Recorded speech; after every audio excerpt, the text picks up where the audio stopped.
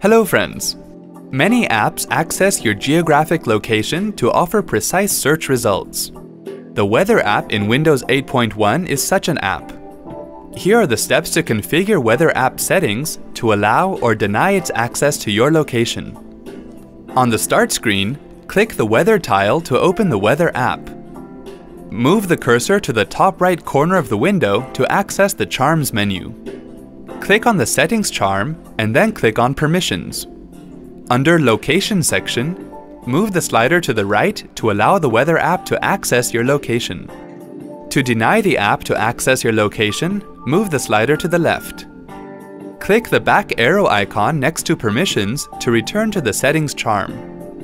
Drag the Weather app window downwards to go back to the Start screen. See? That wasn't hard at all. Thanks for watching.